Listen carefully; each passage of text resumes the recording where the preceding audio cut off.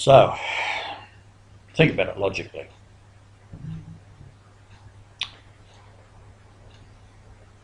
Uh, there's a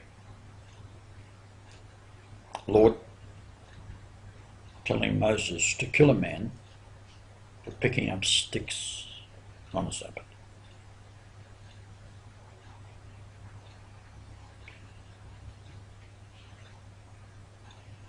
There's another one, I think it's in Leviticus. Um, of things you can and can't eat. You can't eat four-legged fowl.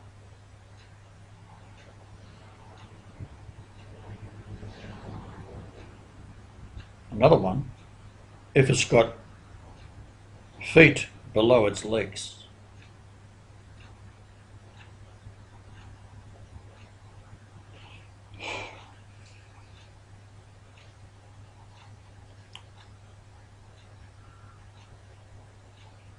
Little baby dies. Where's it go? Heaven? Become like a little child. When you die, you know what's going to happen. Heaven. Everyone's heard the name Jesus. It's not a problem. It's a worldwide prophecy. Okay, look at the other way around. You're God. You've got this lovely big palace. Got everything in. A child can adore. Child shows up. Used to be a prostitute. In you go.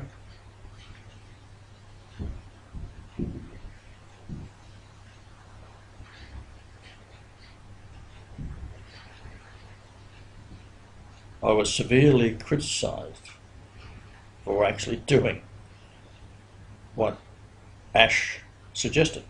And there's this beautiful woman in a very small pair of jeans shorts. Oh, absolutely gorgeous. And she's wearing a white shirt. And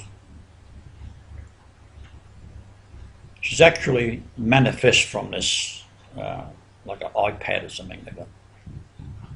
This guy wanted to distract some policemen that pulled him up for speeding. So he presses a button at the front of the vehicle about 100 metres away. There's a woman walking towards you, and she's absolutely gorgeous. Because when she gets there, he then presses a button, and she starts doing a sexy dance. Like, no man can take her eyes off her.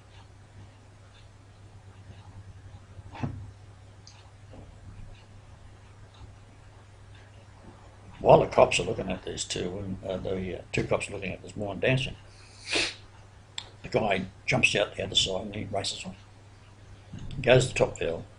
He thought, oh, and he's up there having a rest, leaning against a tree, thought, thinking to himself how smug he is, that he's going to create himself another gorgeous babe, which he does. And she's crawling towards him and everything's hanging out. Looks gorgeous, you know. Then the battery goes flat.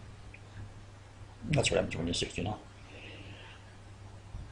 So I got criticised. Now, the point is this a person who believes in me 100% doesn't criticise God for getting a job done that they have no comprehension of how it has to be done. And if I was to attract a thousand men to that by this gorgeous babe and win one of them over, it's worth it. But what my critics miss is that on her t-shirt she's got I, no, Jesus, a heart between his gorgeous breasts, loves me. That's what it means. I do.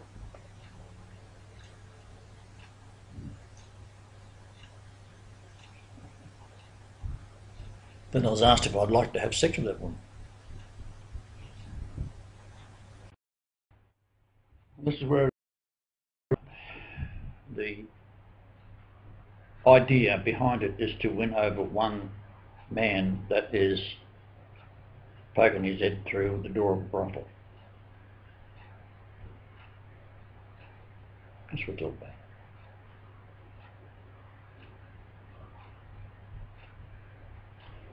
Now, the Jews, what they've done is back themselves into a very nasty corner.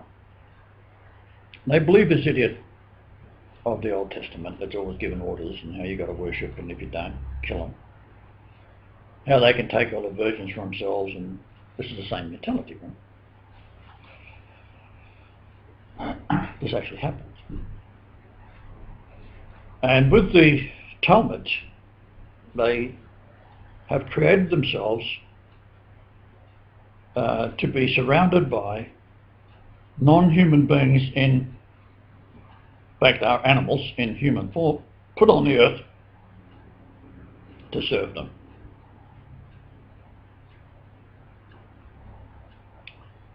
That's about the most un-Jesus thing you can do. It's that way.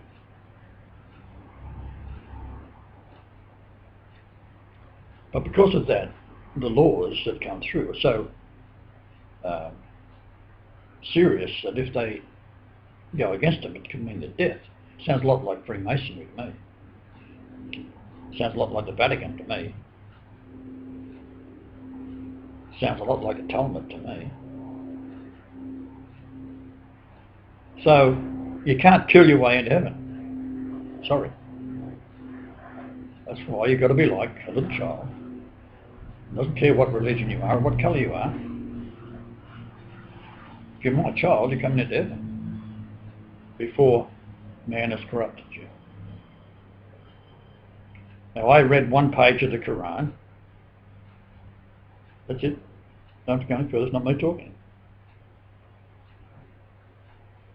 Same with Deuteronomy. I read a few lines, that's it. Nothing to do with me. and you too shouldn't have anything to do with it.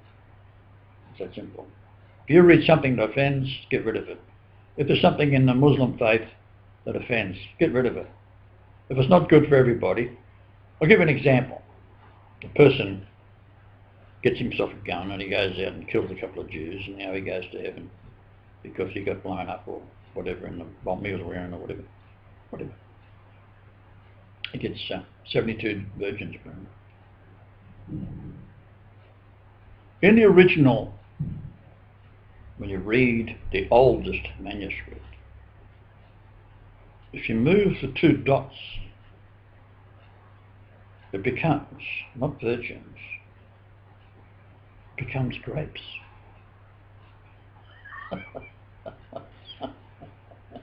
That's how fucking stupid you are.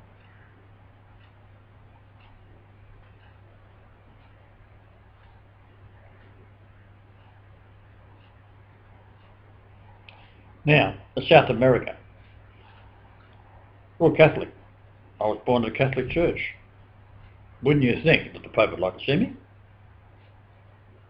If not, why not? Well, ask him. Yes, I have approached the Catholics, and they've been watching me and every move I make since day one. They knew exactly when I was going to be born, because it's all in the Great Pyramid.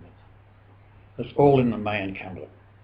It's all in the crossing of the Milky Way galaxy. That's why the Catholics have a, a gigantic biocular. it's two mirrors, gigantic things, and can get the most accurate images of space even more accurately than the Space Hubble, even though they're dealing with the atmosphere to look through.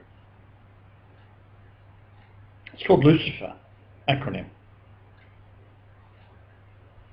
It's in America. just for the cost I think they could have fed Somalia. That's not the point, is it? What do you what are you building telescopes for? When you're looking for the Christ is going to come back, you should have an application form in every fucking post office, in every church. You think you're Christ? Well, take a fill out the form.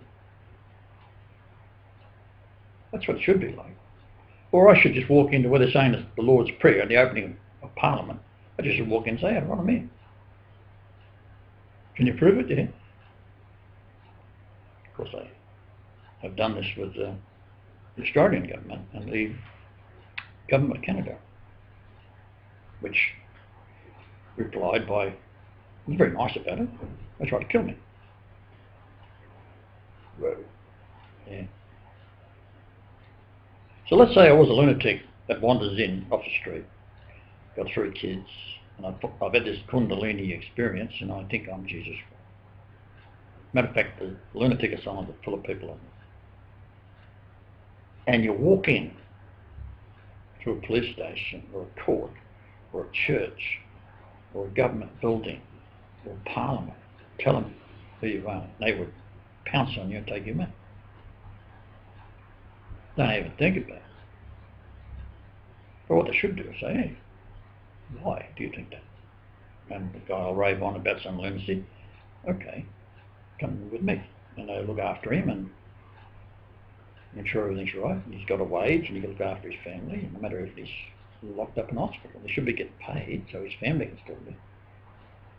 Because he's dramatic. Make sense? So when I'm king, and finally the Catholics have their Christ coming, and he lands on the front door where I'm, wherever I am, and walks up. I'll have him locked up and thrown away, throw the away. Be very it. What part of fuck off don't you understand?